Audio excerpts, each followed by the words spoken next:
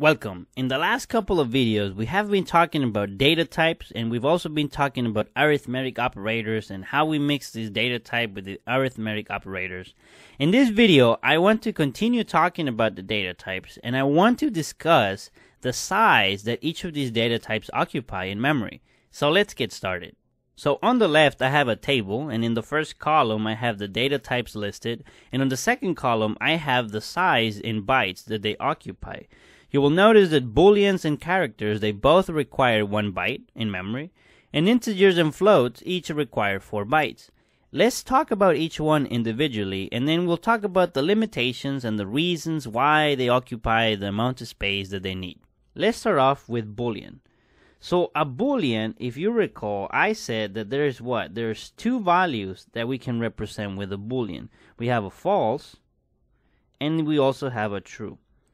And you will notice, and we said this previously, that a false is numerically represented by the value 0.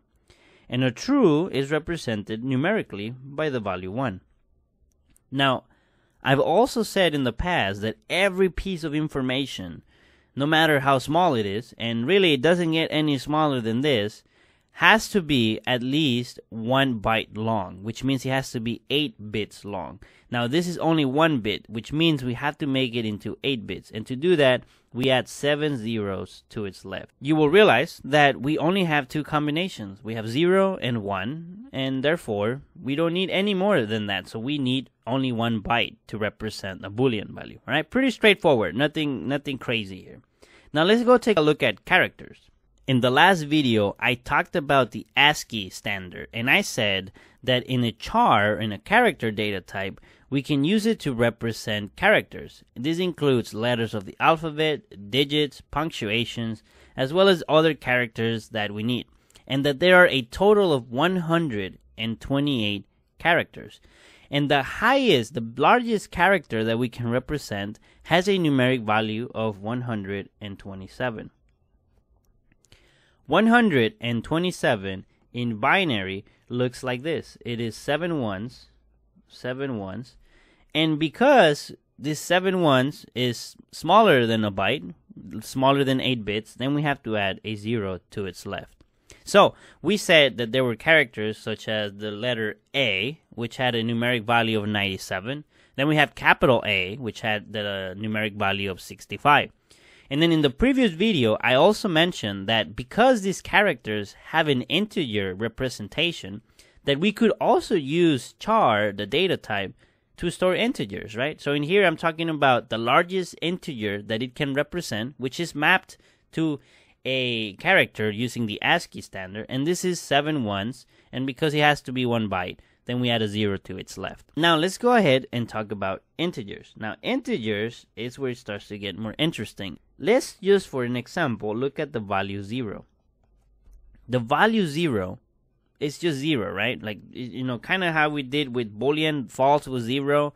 Well, an integer is zero, so I can put a zero right here. However, this has to be 4 bytes long, which means it has to be 32 bits, which means that I need 32 zeros. So here we have 8, and then we're going to have another 8 for another byte, and then we're going to have another 8 for another byte. I'm just going to delete this so that I can format it. And then we have the fourth byte. And now we have 32 zeros. This is how a zero looks as an integer, which needs 4 bytes, in binary. But to contrast, let's look at character. So the character also has the value 0, right? So the value 0 in character will be what? It'll just be 1 byte. And it'll be 4, it'll be 8 zeros. So now you might wonder, if I can represent 0 with 1 byte, why would I want to use an integer? Well, it's a good question. If you only need to represent 0, then you definitely can just use char and that's it. You don't need to use an integer. However, what happens when that value changes? Because usually you store these values in a variable. And I said the value in a variable can change, right? So right now, let's say we're talking about money. Right now you have zero dollars, okay. But then maybe in two days from now it jumps up to $500 or to a $1,000, $10,000. Well, hopefully, right?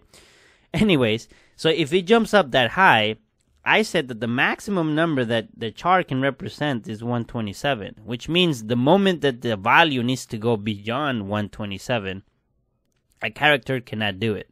So an integer has you covered.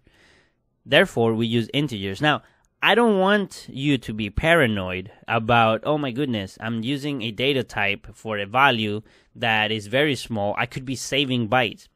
If you have 4 gigabytes of RAM, let's just say, you have millions and millions of bytes. So the fact that you use 3 extra bytes just to represent the value 0, nothing is going to happen. I tell you this because it's good to be aware about what's out there and the second reason is maybe one day you do have to worry about it. Maybe you're dealing with millions of numbers and you realize that if you go to char because your numbers are very small, then you're going to save up a lot of space.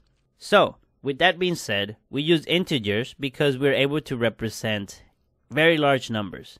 How big of a number? Well, let's discuss that. An integer and the formula to to calculate how big of an integer we can represent goes as follow is 2 to the number of bits that we have. So 4 bytes is what? 32 bits. Minus 1. I'll explain why.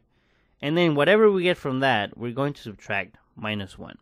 Now, you might kind of know why this minus 1. If we look at char, we said that there's 128 characters, yet the largest value that we can represent is 127. Why not 128?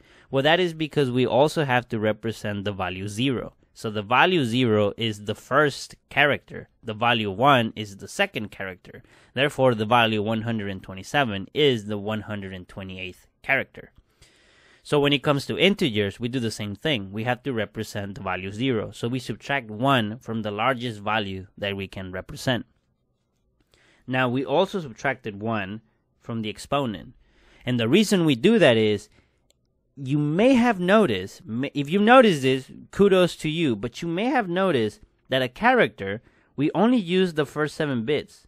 We don't use the eighth bit. You could have said, well, if we have another bit, couldn't we represent a bunch of other characters? And there is a particular reason why we don't use this eighth bit or the first bit from left to right.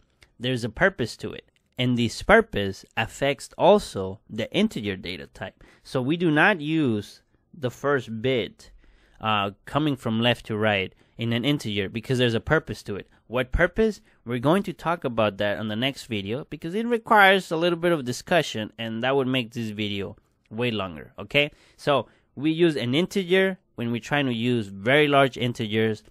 Now, the last one that we have to talk about is a float. So let me scroll down a little bit. So let's say that we have a float, right?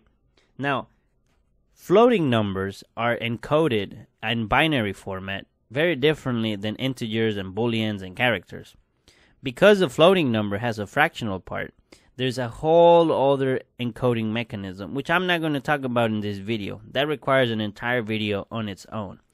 But what I want you to know is that just like we just like with integers, we have a maximum number that we can represent. Well, when it comes to floating numbers, you also have the smallest number that you can represent, right? So for instance, I said for integers you have 2 billion.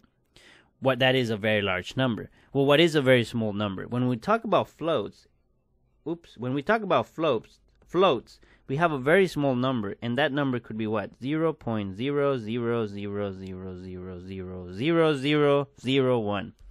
That's a very, very small number.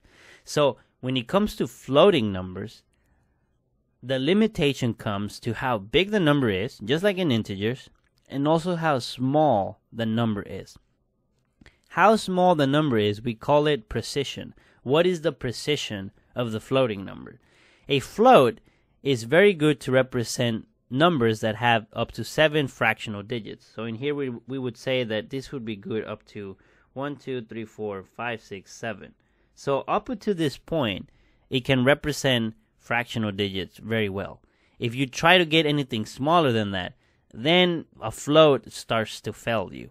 But a float has a limitation as to how big the number is and how small the number is, and this comes to be the precision of the floating number. Again, in order to specifically look at that, we will have to learn first how floating numbers are stored in binary, and we would need to talk about that in a separate video just to understand that. All right. So, what I want you to get out of this video is I just want you to understand that all of these data types, they all have a size in memory. And this size has certain limitations. Booleans, they're fine. There's only two of them, no worries. Characters, there's 128 of them, and we don't do more than those because that would means that we would have to use this little bit, and we don't use that little bit because we use it for something else. And so characters can also be used to store integers so long as the integer is 127 or smaller. And if you need more space to store an integer, then you just go to an int. And again, on the next video, we're going to talk about specifically what is this little bit and why is it not being used in, in either of these integer data types. And then you might be wondering, well, Daniel, you say that roughly this thing is 2 billion. 2 billion. But what happens if I want to represent a number bigger than 2 billion? If I want to go to a trillion, what do I do next? Then you also talked about this float, which says you only go to about seven fractional digits of precision. Well, what if I want to work in some scientific application or something where I need more digits of precision? Well, in that case, there's a way to modify these data types to make to give them more space so that they can represent larger numbers. So we're going to talk about that in the next video. So if you are watching this video, I really suggest you also watch the next ones because it's the whole package. But I didn't want to make this video too long. Alright, if you have any questions, feel free to leave a comment. If you like this video and you found it useful and you don't mind, leave a like. If you're new to this channel, check out the video series, check out the channel if you like what you see, subscribe, be safe, and peace out.